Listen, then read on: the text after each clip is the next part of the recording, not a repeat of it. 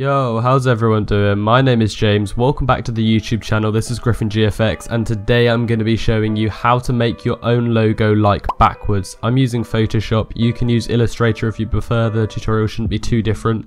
Either way, let's get straight into the tutorial. I'm sick with it, I've been illa. Big digits like hill figures. Bigger vision, see the bigger picture. Right, welcome down, I'll make back. So, the first thing to mention is I still have a bit of a cold and therefore I'm a bit tired and my voice doesn't sound the best. So, my apologies. Drop a like for me to get rid of my cold. Yep. First things first, the text is aka Posse. This is the font you're going to want to use. It's as close as we can possibly get. If I were to type in Backwoods, for example, you can see it's pretty damn close it's not spot on, but you know, like they modify certain parts, and because of the arc, it looks a bit different. But regardless, that's as close as we can get. Let's go Sploot TV. Um, this is actually going to be for a YouTube channel that I'm starting up. I'll have it on screen as the channel is already made if you guys want to go check it out and like pre-subscribe. There's no content yet, but it's going to be like music and reaction videos and stuff like that. The things that I don't want to put on Griffin GFX basically, because I want to keep this purely graphics content from now on, I think. I don't really know. I'm still trying to figure it all out. But regardless, let's get into how to actually make this. So once you have your text typed out, you want to left click with the text tool and go to the arc effect which is up here. And then you want to select arc. You have upper arc and lower arc. I'm pretty sure Backwoods used a completely regular arc like this because it arcs the bottom as well. But because that pulls it out so much you can kind of change it by going like that but you don't want to squish it too much. So I actually recommend using this one using the upper arc So once we've got that, what I'm going to do, you want to make sure that that both links up, that both links up. How I'm getting these blue lines is by dragging them out from here. If you don't have these rulers, just press Control R, that should bring it up. If not, you're going to have to find it in your window panel. So what I'm going to do now is I'm just going to duplicate this layer and hide it so that we always have it as a text layer. But for now, I'm going to rasterize this one and I'm going to start doing my messing. So the first thing I want to do is bring the S and the T down because with the Backwoods logo uh, it's all in line at the top but not at the bottom. So it'll be like that. And like this. Now they didn't do it on the other side but I think it would be quite a cool addition.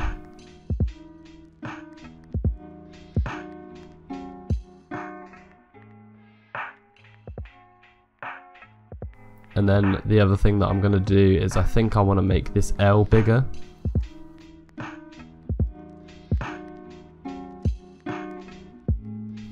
There we go. A quick make do job. I'm going to go over all of this in the pen tool because I want to customize the text slightly. Because like I said before, their text is slightly customized. And therefore, I think it'd be nicer if ours was as well. Let's give a go at dimming it and customizing the text how we want it to be customized. So I'm not sure exactly why I want to change the style slightly, but I almost want to get rid of the way that they've done the sharp flicks. Now this is literally all trial and error. I don't know what's going to look good and what's going to look bad, but we'll just find out. I'm going over the text with a pen tool. I just lowered the opacity on the text layer so that I could kind of use it as a marker to do my own thing. And then when I'm done with it, I'm going to right click, make a selection, press OK, and just fill it in with black.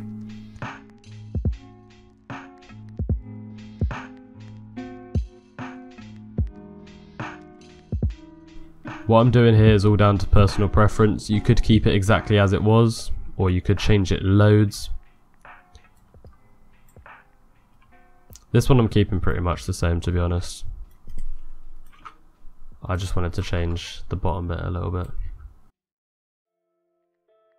Right, so down here, I reckon we should like have it kind of wrapping around the um the O, like in that kind of shape.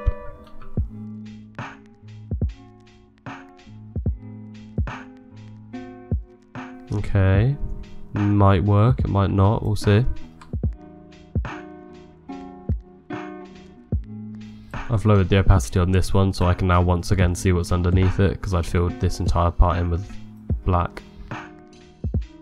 I'm going to copy and paste the O that I just made.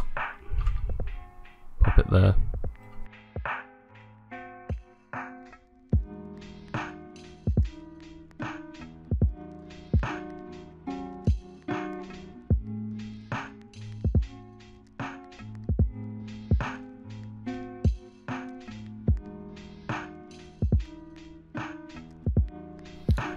Okay, so this is my sploot. Parts that I'm unhappy with is the amount of space there is here, and I'm hoping I can fix that just by pulling things a bit closer together.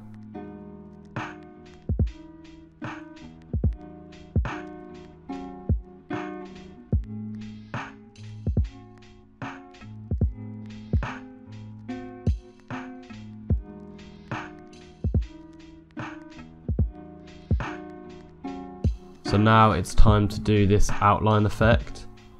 Alright, so what I've done here is is I found an easy way of working out how thick I need to make the stroke by doing one blob that's the size of the text and then one blob that's the size of the stroke and then we'll apply that to our own. So I'll make this red quickly. So if the text is that thick, if the text is that thick, which looks about right, then the stroke should be this thick. So we're going to get our brush to this size. And we're going to start working in the stroke.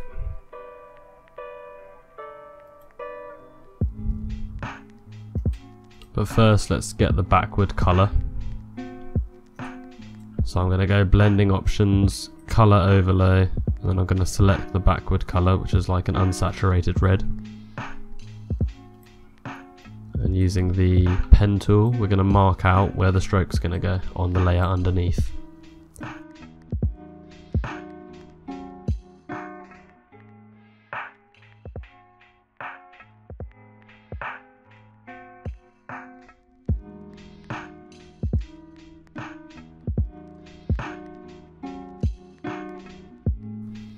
Okay, so obviously we have this, but that obviously looks absolutely disgusting.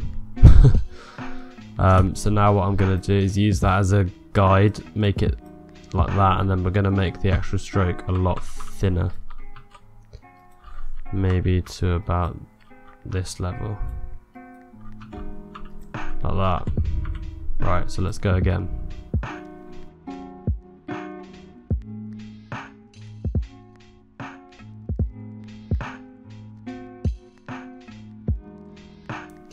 And boom.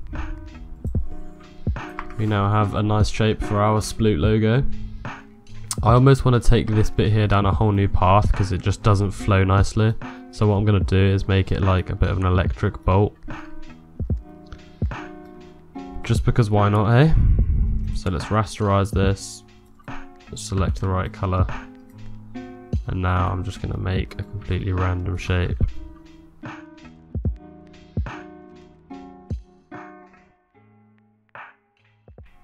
Little zap.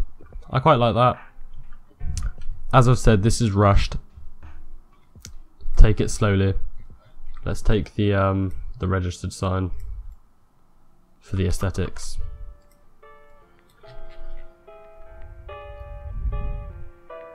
That's a little um, trick of the trait of mine. If you put a registered sign next to a logo, it just automatically looks good.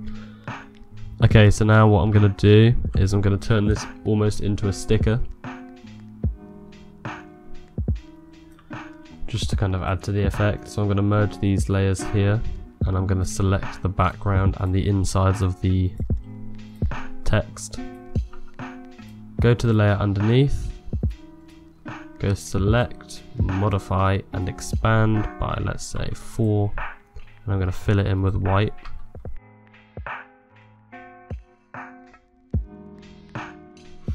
Right. Now what I'm going to do is delete the other things, make the background red, and then we can present our logo.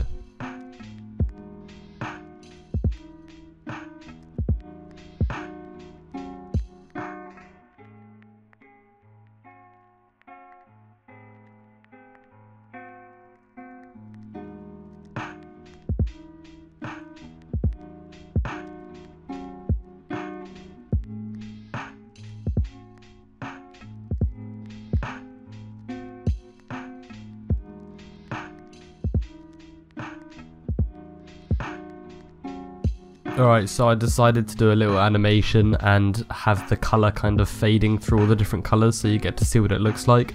Make sure when you're following these tutorials of mine that you use them to like inspire creativity and not just rip brands off. Like with this one I've ended up going down a whole different direction. Um, but yeah, definitely send me pictures if you guys follow this tutorial and make a Backwoods logo. I'd love to see them and I'll feature them in another video. Um, and basically, guys, that is it. Sorry if I've been a bit under the weather and a bit quiet and stuff. Next video, I'll try and be more upbeat because hopefully I won't be sick anymore. Love you all. If you're not subscribed, then press the little red rectangle that says subscribe. Uh, otherwise, I'm going to delete this video in about four minutes, so it's basically your decision, really. it's not even funny. Right, love you all. Have a great rest of your day. I'm going back to bed, probably. See you later. I'll sit and watch your car burn with the fire that you started in me. But you never came back to ask it out. Go ahead and watch my heart burn.